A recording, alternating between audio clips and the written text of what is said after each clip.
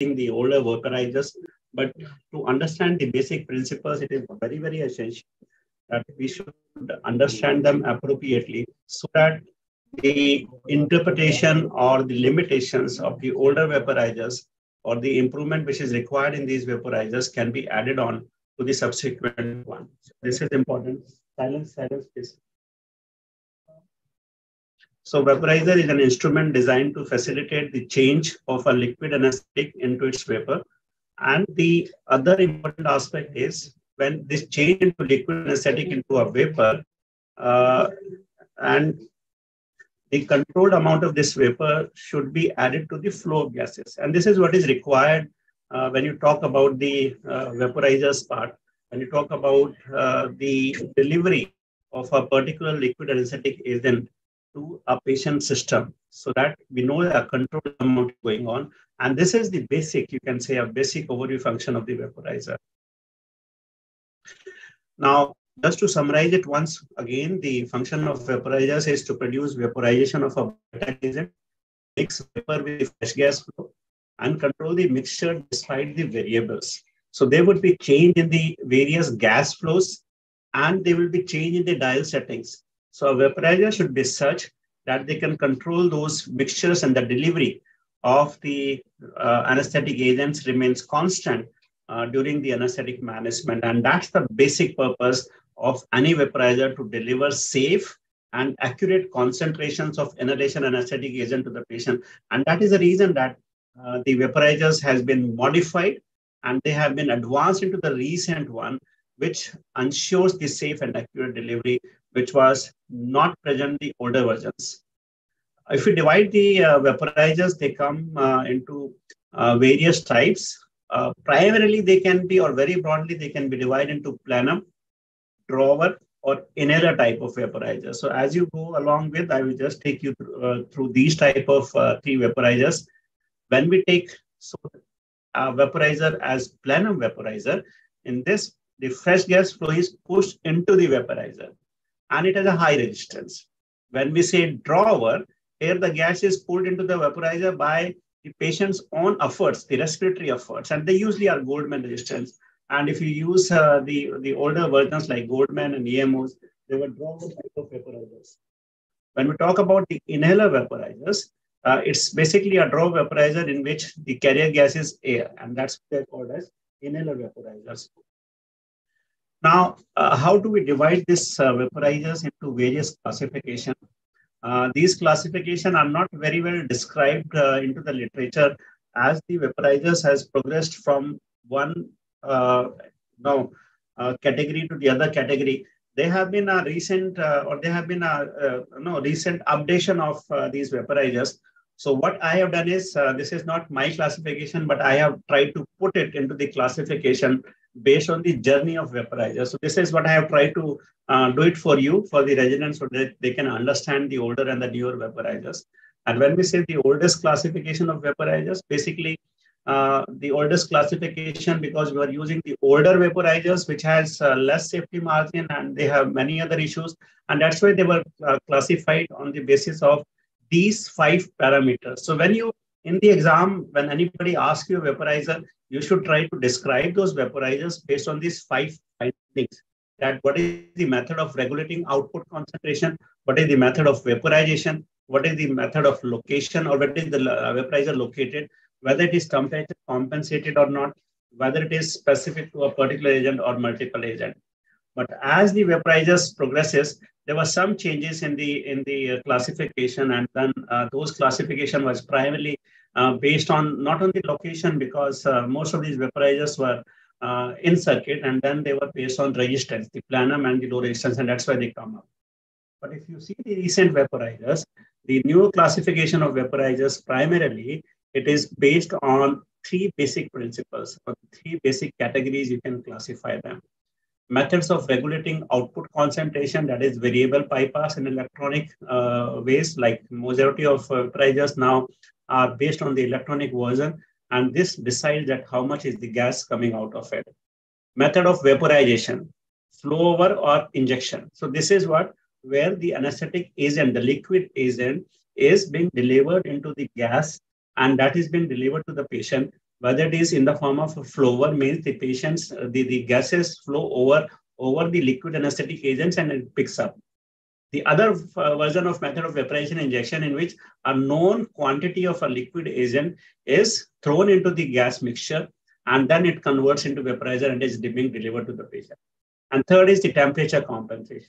Whether we talk about the mechanical, supplied heat or computerized. So these are the, uh, the three basic mechanisms which decides that how the output of a vaporizer will be taken care of. Because as we know, as the uh, liquid is changed into vapor, it will take up the heat and it becomes cooler. If it becomes cooler, the chances of changing from liquid to uh, uh, vapors will come down and the delivery will go down. That's why we have to maintain a temperature because we want an accurate and sustained delivery, which we have targeted on our vaporizers. And that's why uh, these compensatory mechanisms has to be there, uh, which can be mechanical, supplied heat, or computerized. So these are the three classification, but just for the postgraduates, uh, there is nothing called the uh, three classification. This is what I have done a couple of years back uh, when I was uh, you know, looking for the classification, and I have put it on the base of the evaluation of classification of vaporizers. Now let's come to the older vaporizers. I, I am sure that the next session after me will be taking you to the newer vaporizers, but let's see what old vaporizers we were using and what specific uh, or uh, uh, the requirement or how do we use them. Uh, I'm sure uh, Dr. Gedu must have used all those older versions of vaporizers and he will be the best person to add on to his practical experience. But what I have seen from the museums and heard from my teachers, these are the various methods that are available. The earlier methods used to be the open drop method in which uh, the inhalation anesthesia by evaporation of a liquid anesthetic agent was uh, by using a, a, specific bottle was dropped on a gauze mask covering the mouth and nose. And these devices where this was being done was on the Schimmelbusch mask, uh, which was subsequently had more modifications like Yankauer or Bellamy Gardner bottle, which used to put the drops on these. And then these drops were counted and accordingly, depending on the depth of anesthesia, these were being used. Subsequently, there were semi-open methods in which a frame was added uh, to keep the ether in an enclosed area, permitted some degree of uh, rebreathing. And there were uh, uh these semi-open type of uh, vaporizers, so-called vaporizers were Ogston inhaler, Junkers, chloroform apparatus, or Flagg's can. Now, these were the initial vaporizers that were being used earlier. So first one, if you can see this picture first left upper corner is the Schimmelbusch mask. Uh, then comes the Yankauer mask, and then comes the uh, Bellamy Gardner wire mask, the dropper, and if you see in between, uh, uh, this, this was a dropper in which this was attached to a bottle and the number of drops that needs to be dropped onto this mask, which was covered with a gauze piece, uh, will decide that how much should be the depth of anesthesia. I'll, I'll uh, take you through those uh, uh, bottles also. So these are the various masks which were subsequently uh, no, modified into various aspects But if you see uh, the most common was uh, about the Schimmelbusch and Yankauer, which was the most commonest uh, mask used in the earlier days, but uh, they were modified uh, as per the requirement of the patient's delivery of safe uh, anesthetic agents, the early anesthetic agents that were being used for it. Now, the semi-open method has a covered area where they would have a closed wired mask wherein the gauze piece was attached, like in this uh, Ogston mask with Schumann was framed, wherein they were covered with uh, some amount of gauze, a particular number of layers of the gauzes, and then uh, the the uh, anesthetic agent, which was to be delivered, was using in a drop-wise controlled manner using equipments like Flagg's can. And this Flagg's can will deliver the number of drops of a particular anesthetic agent into the patient onto this mask, and that will be delivered to the patients with breathing efforts. But subsequently, uh, if you see the, uh, the earlier mask was uh, too basic. The control was very manual and delivery was very uncontrolled. So it was not no, uh, fair enough to have a very safe and controlled uh, delivery of these anesthetic agents. And that's why there was an evolution of vaporizers. And the first uh, um, no, you know, structured way which came up is the Morton ether inhaler, uh, which uh, you all are aware of uh, was demonstrated also. Now, how to use this mask for the delivery of anesthetic agent? So it will be important from uh, understanding point of view. When we see the open ether method and you see this a Schimmelbusch mask, this is water with a dropper. And if you want to use uh, this, this uh, if you see this is covered with some amount of gauze, and it used to be when you are using ether, it has to be 16 layers. If you are using chloroform, it has to be 12 layers of this gauze mask and then you drop them and you drop the uh, uh, the uh, whatever ether uh, as per the drops. And during inspiration, the air will pass through this uh, gauze which is on the mask, and this will convert into the uh, vaporized form, and then it will be delivered to the patients. And this is the bottle that gives an the delivery of the calculated number of drops. And this is one of the bottle called Bellamy Gardner Dropper Bottle amber colored controlled on pouring capacity of 90 ml of ether. Now, based on the uh, depth of anesthesia that you require, you need to give the number of drops appropriately. So to start with, in the ether, uh, it is to be the first minute, we start with 12 drops, it will give 1%. In second minute, 25 drops, 30%. And this is how you increase the number of drops so that you can attain the desired uh, uh depth of anesthesia. For ethyl chloride, uh, first minute 30 drops, and then you increase to 60 and 90 drops for these patients so that uh, uh, you can have the depth of anesthesia, which is primarily based on the number of drops using your dedicated bottle that you deliver to the mask. During the maintenance, because as I mentioned earlier, uh, when the liquid agent is changed into the vaporization, it will take up some heat and the surrounding structure, that is the gauze piece, will get cooled up it will get a heat loss. And uh, there will be change in the room temperature at the level of the mass. And that's why uh, with time, it will be the delivery of the uh, anesthetic agents will be much less. And that's why uh, sometimes you need to have some heated up or some gas spaces needs to be changed up so that uh, they can they can have uh, delivery of the gases which continues to the patients. Also, we need to understand that whenever the composition of the gases uh, of the agents, like when we want to use a 10% ether, there will be a proportionate decrease in the percentage of oxygen also around the mass. And we should be careful because the patient is breathing room air. And that's why there will be a proportionate decrease in the oxygen concentration, and that you need to remember. The advantage is a very special, simple equipment. You don't require any electricity or any specialized apparatus for this type of patients. And hence it was easy, low dead space, low distance, wide margin of is relatively cheap and can be done at any places. But yes, it has many disadvantages. That's why we require to have better agents, significant rebreathing, hypoxic mixture, just mentioned, poor control, inability to assist or control ventilation if patient becomes too deep, no conservation of heat or humidity, difficult airway management, pollution of the operating room, and hazardous, especially with flame and then what comes up with the in-system vaporizers. In-system means the vaporizer is into the breathing system. So there are two ways that gas goes to the vaporizer. That will be the push-through or the drawer. And hence, based on this, uh, uh, the, the type of vaporizers were taken up. Drawer means uh, it uh, in, in drawer system, it provides anesthesia without the supply of compressed gases. And the main carrier gas in these patients is the atmospheric air, which is taken up by the patient's own respiratory efforts. And then the agent is added to it, which is inhaled by the patient by a non-rebreathing valve. So this is what a drawer system is, and this is how it looks like of a drawer vaporizer, wherein patient tries to breathe in and the inspiratory air which is going down, they will pick up some of the anesthetic gases and that will be delivered to the patient for required amount of the anesthetic gas. The components of a drawer circuit, uh, this is one of the very basic and very useful uh, equipment that was used for a very long time uh, which requires an Oxford inflating bellows for ventilating the patients, vaporizer, uh, which can be combined with the other also, and then the breathing circuit, which goes to the patient, and the patient can be ventilated using this mask and the bellows. And this may also be connected to the oxygen. So this is one of the uh, one of the uh, very, uh, I think, combination which has been used over very long period. And the use of EMOs is still happening in some parts of the world. Uh, because this is one of the very sturdy and good type of vaporizer. So this EMO vaporizer, uh, you need to see it once. So I will request that um, you just go to your museums or any big uh, uh, teaching hospital, you must be able to see this EMO vaporizers. It has certain parts into it. So there is an uh, area where the uh, outlet will be there. There will be a part of inlet which can be connected to which patient inhales the air there will be a dial where you can see the percentage of uh, the volatile agent that is being set. you need to fill from this aspect, uh, the volatile agent, and you can see the level here.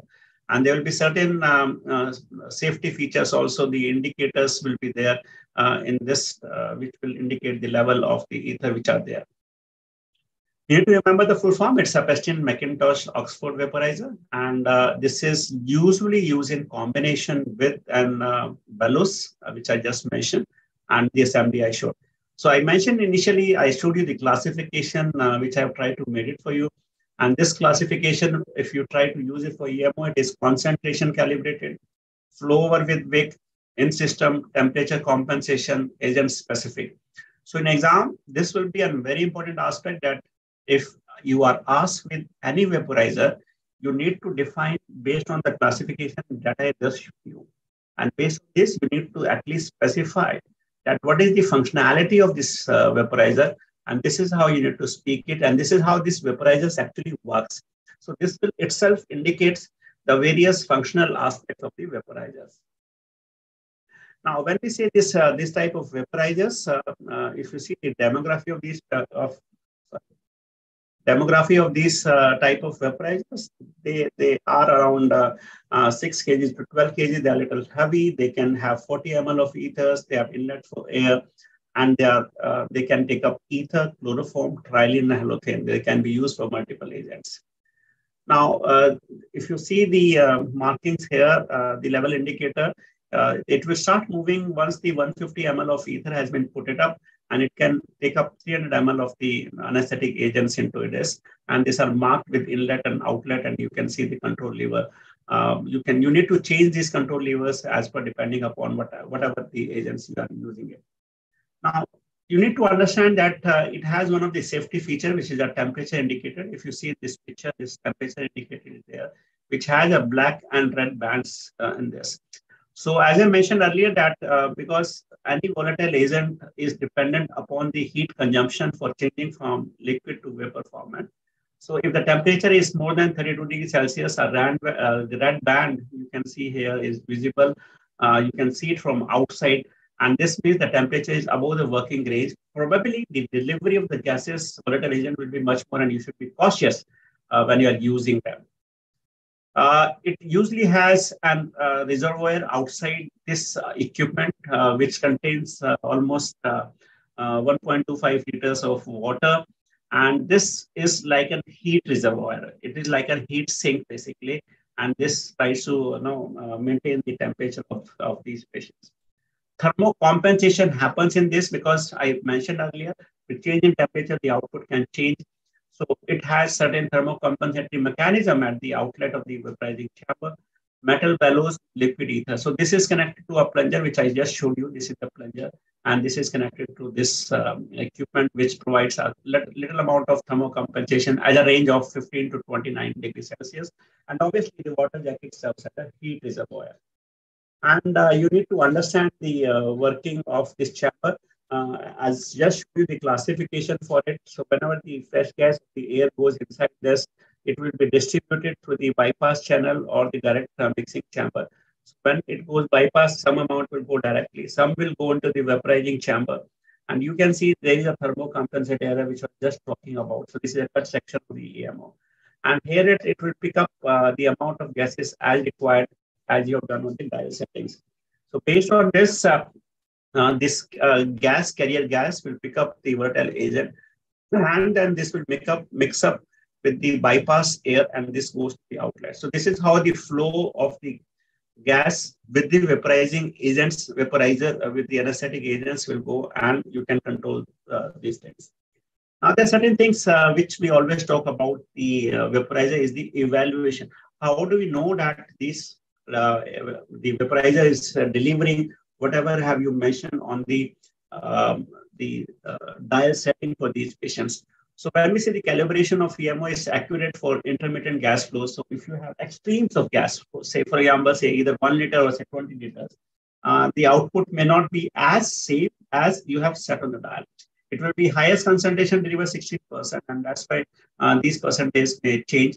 Splashing duration, uh, it, it, can splash during transit. Uh, there is an option to, if you keep it in on position, it can splash. And if you start then using the vaporizer, it will deliver a very high concentration and you should be very cautious not to put this vaporizer once it is on and you have shifted from one place to other and that's why you should be a little cautious. Now these are the bellows uh, which were used with it. There are six bellows you can see. Uh, each can take up 150 ml of uh, the uh, air, so it can deliver about 900 ml when you're ventilating. You do not need to deliver 900 ml, but uh, there is a special technique of using it. It has two unidirectional walls, you can see, and you can see this magnet here, which is sometimes used uh, for, uh, for the patient with uh, spontaneous versus manual ventilation. So this is how the assembly is being used for ventilating. You can see this is the vaporizer, this is the bellows, and this is being connected to a circuit of the patient. Surgery is ongoing, and is ventilating the patient. So this is how the surgery was done using this type of vaporizers. Now, uh, when the spontaneous ventilation is required, uh, uh, as I just mentioned, there should not be no magnet. the wall should be active if you want to uh, put the patient on assisted ventilation or controlled ventilation, a magnet needs to be put over here. In a pediatric space, uh, uh, in, in, a pediatric population, uh, uh, you need to add on some oxygen because it has a lot of dead space, so it may not be good for uh, the pediatric patient, and you should avoid using magnet as mentioned for the balance. Now, there's an additional thing that was being added by the Indian researcher, which is Brigadier Rama Rao, uh, which has attached to the inlet of EMO, uh, which can give more oxygen. I mentioned earlier that the inlet just have the air, but when you want to give a patient more oxygen, this type of adapter, which was added to the inlet, provided more amount of oxygen to the patient, and hence the safety was probably increased. Now, I think uh, I will just wait for uh, just uh, 10 seconds. Uh, you just think of this vaporizer and just put on your chat that which is this vaporizer.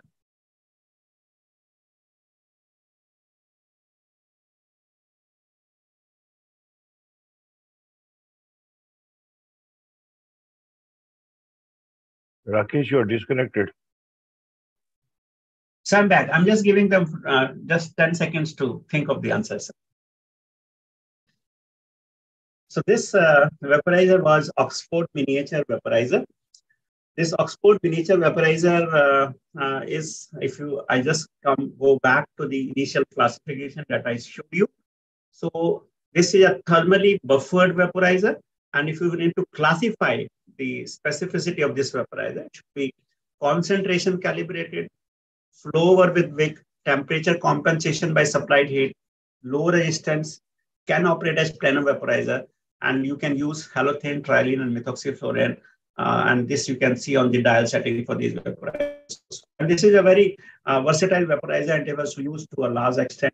And it has a water jacket around it, and it can have uh, approximately uh, 1060 grams of uh, full water jacket. And this is what I was mentioning about the uh, heat sink, or uh, you can say uh, thermocompensation can happen via this the water jacket, which is present here. the initially one, it, it, was having a small volume for the volatile agent, but the newer versions, which were you know, subsequently made for OMV, they can accommodate more, and that you can use even for a um, you know, bigger surgeries. The if you see, if you remember, there was an arrow which is mentioned here. You can see here. So this is the arrow. This will uh, specify that the gas flows from this side to this side, and this is the patient and So this will confirm that this is going to the right direction. You can use it for various agents: halothane, isoflurane, chloroform, methoxyflurane. And there if you see this dial, this dial is for different agents. So whatever agents you are using it, you need to change the dial, put the other dial for all these agents uh, because there were different uh, calibrations and you can use uh, this for uh, various gases. The thermal compensation uh, was using a reservoir of a glycol within this structure, which acts like an heat sink for this, which is glycol with water, 25% glycol with water. And this can um, this was designed basically for a flow rates three to eight liters uh, or a draw rates of four to ten and if you go beyond these flows, the output may not be as same as your dial setting. So this was calibrated at these flow rates for its more accuracy. It has a special filler for filling the anesthetic gases into it. Uh, it has a safety mechanism, a light pressure air relief. So when you put it, it will have air relief. And then it opens up the filler and then you can go ahead and put up uh, your, your anesthetic agents into it. Now, it can be uh, combined, combined with EMO. I showed you a figure earlier, And this performance is uh, can be even used not only for spontaneous, but also for uh, intermittent pressure, uh, positive pressure ventilation. And hence it was used in combination. So do not use this in a circle system because they can produce very high concentration and uh, it only holds in small volumes, but it needs to be filled up. But subsequently, as mentioned, uh, a bigger vaporizer, OMV vaporizer was also coming, which can be used for major surgical procedures. Then subsequently, the another uh, old vaporizers, uh, which was not into a practice too long as compared to the OMVs uh, and EMO I mentioned, uh, Bryce Smith induction unit. So this uh, facilitates induction of the ether anesthesia along with the halothane, and this is how they were being used. So this is a combination unit. And this was connected to the outlet of EMO, which I showed earlier. Um, uh, they, they, can be used in combination with it, and it delivers halothane uh, 2 to 4% for 3 to 5 minutes. So any guess for this vaporizer? Another 10 seconds for you. So this one is a Goldman vaporizer. Again, uh, just remember classification. I think uh, you will be getting these slides. Uh, you can just remember this classification. This is concentration calibrated, flow without wick, no temperature compensation, multiple agent halothane trilene in and out of systems. And this uh, Goldman vaporizer, you can see the, previous one were having a metallic sheet, but here is a, is a glass bowl which is there, and there's a capacity of 20 cc, and this can be attached uh, to the uh, circuit with bypass and vaporizing chamber, and the gases goes into this and they pick up some volatile agent and goes out. And on the on the prop, you can see there's a dial setting uh, which you can uh, turn on as per your requirement. Subsequently, if you want to increase the concentration because uh, it can maximum deliver 2.21 percentage of the anesthetic agents. So there was an addition of wick into it and it was called as Young modification. And if you want uh, for the higher concentration, you can use it in series uh, to such Goldman vaporizers and it's called Hall's modification. And these uh, Goldman vaporizers were subsequently uh, no, made into three different type of uh, specifications as Mark 1, Mark 2, and Mark 3 which has uh, advantages over it um, based on the a little bit of uh, different mechanisms. The self locks uh, in the off position was the feature of Mark 1, and it can deliver up to 3% for these patients. Now, depending upon the flow of the gases that you're delivering to these patients, the flow, the output will change based on whatever agents you're using. So this type of uh, chart system was very useful for uh, these type of vaporizers. The raw vaporizer is a modification of Goldman vaporizers and uh, in which they have tried to make the uh, glass bottle a little bigger one and with a wick. And subsequently, we got an ether bottle, which was used on the Boyles machine for very long. And this uh, bottle, you need to classify as concentration calibrated, flow or bubble through, no temperature compensation, multiple agent can be used and out of system. And you must have seen these type of bottles in a older version of uh, Boyles machine. I've seen it a couple of times, and this is what was being used. If you see this uh, uh, this type of plunger which was there, this was being used for uh, changing the concentration because this goes in and out, and the gas flow which was going into it. If you push the plunger in, majority of air will go through the volatile agent, thus increasing the concentration of the volatile agent they have uh, the, these Boyles bottles were separate for ether and trilene and uh, the volume was little different for these type of bottles similarly for the halothane bottles also. Now when we're using Boyles bottle the issue was that the output would be affected by temperature of liquid the plunger level the control level position level of liquid eccentricity of food and agitation of vaporizer in fact agitation was used sometimes uh, at the induction to increase the concentration delivery of these patients but they were not very meaningful calibrated and hence becomes an issue they have certain uh, specific unique features. Uh, they have grease. Sometimes this can be a source of fire at in these patients also, and that's why you very very um, uh, needs to be you know keep them very clean. Uh, they require some amount of uh, replace packing in the gland nut, which was needs to be kept clearly for these patients. So I'll just uh, leave you at this newer apparatus because they were not in clinical use, but yes, like the copper kettle bottle was being used you need to remember this classification, measured flow, bubble through, out of system, temperature compensated, multiple agent. And these type of vaporizers, again, uh, it's like a measured gas because the gas delivery which was being to these patients were being divided between the bypass channel and the uh, vaporizing chamber. And then the, uh, the desired amount of uh, gases needs to be uh, no, calculated, and then the output was as per the calculation that you have done for these patients. Uh, they were acceptable over wide range of flows, but uh, the temperature compensation was not good, and hence delivery decreases with times. And now what we comes in, I think this will be the next uh, half an hour or so, you'll be going through the precision now vaporizers where, because as mentioned in the beginning, that the vaporizers were not very controlled. So we need uh, vaporizers which can deliver precise concentration of the anesthetic agents. And that's why the newer vaporizers which came to the market like Tec series, which was a common one, uh, Draeger 9 series, they are the precision vaporizers. And I'm sure that these newer vaporizers will be taken subsequent to my session by the subsequent speaker, where they have certain safety mechanisms which were uh, not thought of and uh, incorporated for these limitations where not only the precise amount of uh, delivery of gases was there, but also the concerns like the uh, tilting of these vaporizers or the backflow effect on these vaporizers, which affect the concentration or the temperature compensation part, was taken care in new vaporizers and the recent one that are being used. Uh, uh, you are aware of the Desperate vaporizers and the cassette, Aladin cassette vaporizers, which have uh, controlled by electronic gadgetry and, uh, and the latest including the injection type of vaporizers. So they are very well controlled electronically and computer uh, softwares and gives a very precise delivery with a good amount of safety margins. So thank you so much and uh, over to you, sir.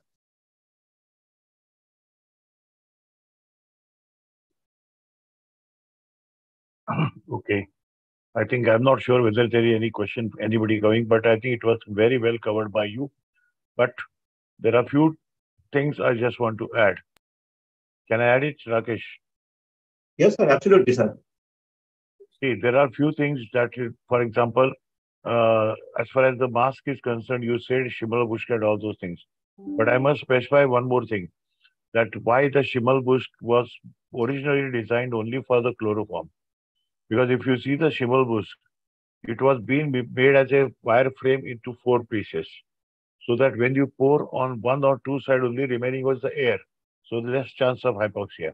Well, when the other mask came Yankauer, there was a wire mesh above. So even if you drop one drop, it spreads uniformly. Because ether needed to be spread very nicely. And ether never caused hypoxia. That's the reason that was designed. And one more thing that was not been told that was called Hawk's mask, which was basically designed for the pediatric, which had it was a round shaped and there was a oxygen nipple behind so that the children do, don't get hypoxia. That was the one which was designed. Uh, as far as the other things are concerned, I think everything was covered well. Well, if you see the EMO, EMO originally was designed in such a way that it was 6 plus kg, 6 and half kg. They say if you go the historical way, it has been said that this was basically designed for the war victims so that whenever it is being used, so what happens, for example, if there is a war and I'm there as an anesthetist, I go there to, if somebody is injured, his leg is injured or something like that, or a patient is very bad, and I have to do some whatever debridement suturing over there only, or uh, whatever it is. In that condition, what I'll do is, they used to tell the people that, we, yeah, yeah, who's this? we can continue. I think somebody said hello. Yeah, I think that was accidentally done, sir. You can you can continue, sir, please. And so that time, what they do, they used to basically airdrop it with the parachute. That's the reason it was made very heavy, so that whenever I drop it, it will drop exactly at the war site. So it was made like that. Six and a half kg. This is important information, sir. Yeah. Another thing in Oxford, in uh, miniature vaporizer, there is also something to be added. In the good old days, the temperature compensation that was used in such a way that there was no water jacket around.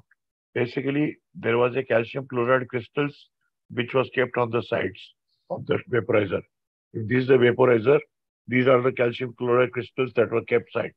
So that whenever the patient is inhaling and expiring the air, that is the time the moisture from your expired air or from the temperature surrounding up the vaporizer drop stop So that water goes slowly into the calcium chloride crystal and this calcium chloride crystal basically gets converted to CaCO3 and that chemical reaction induces the heat, and that heat was supplied to the vaporizer earlier, that is OMV vaporizer. And as far as what you said correctly, that is OMV and EMO, they were used together, and that was the one which was called as a EMO system. Not, I mean, EMO vaporizer is separate, and EMO system includes breathing circuit as well as OMV and EMO. So these are then one more uh, thing that was uh, we used to have. I have used maximum. There was something like uh, KM bottle or side bottle. This was very popularly used. I must have given more than five, five, six thousand anesthesia with that. It was again a vaporizer, which was a plastic one, which was a squarish bottle, plastic shape. Uh, I'm not sure whether you can be able to see that. It was the very best vaporizer that we have ever used. You can see this. I'm not sure whether you'll be able to appreciate this vaporizer. This one. This was in plastic shape and there were a cap, steel cap on which there were multiple holes so that the air can go through that. And this was used, it was just attached at the head end of the patient with a hook. And we used to give anesthesia to the level that so much is so, I mean, sometimes really I think what we used to do was something uh, too much daring. Like we used to take the patient to the almost third, fourth stage. You feel fully dilated, something like that, and respiration is also not good. And that's the time I used to go out and have a cup of tea and then come back. Patient comes back into the third stage. So it was the best anesthetic I ever saw. In fact, so many camps wherever we have gone, we used to use the KM bottle. KM bottle was even less than your uh, plastic bottle weight. It was such a small bottle. KM bottle, because of KM it was called, but otherwise we used to call it as a side bottle. This was one of the best ones that was used in those days.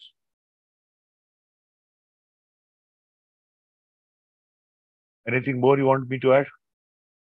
Thank you so much. I think uh, this is uh, coming from the uh, your personal experiences, and this is the treasure that we are getting from you. Thank you so much. See, Schimmelbusch mask and all those things, I must have given more than five, six thousand anesthesia with the Schimmelbusch mask. But these are the things which we used to learn very nicely. As, I know. I think uh, I, I, would request uh, you and I will request the organizers also that uh, if you can uh, show the uh, youngsters like us uh, the use of these masks on a simulated patient sometime because we have never seen those putting of these masks. We have seen always them in museum. So I would request you have used so many.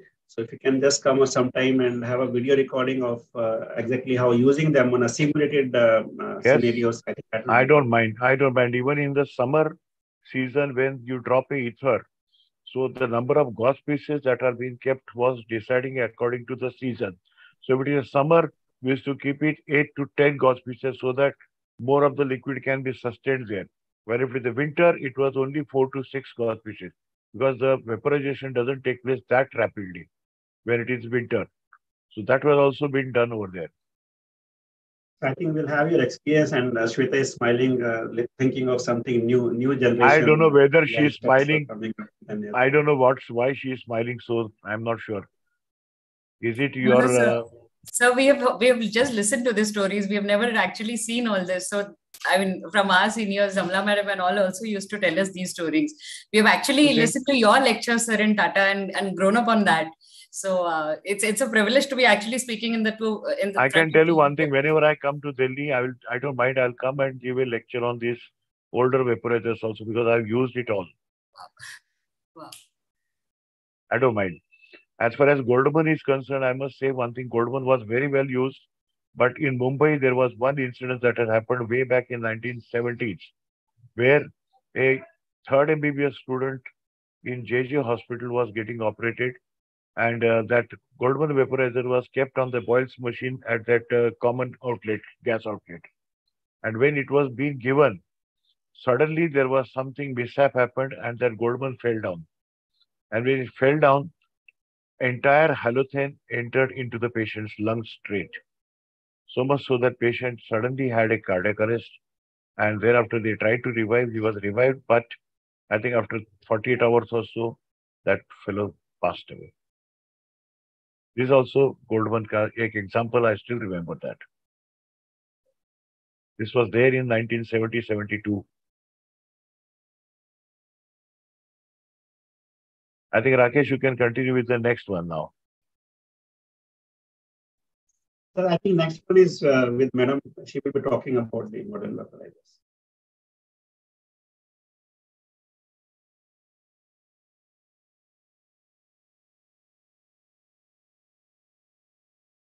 Unmute, sir, please.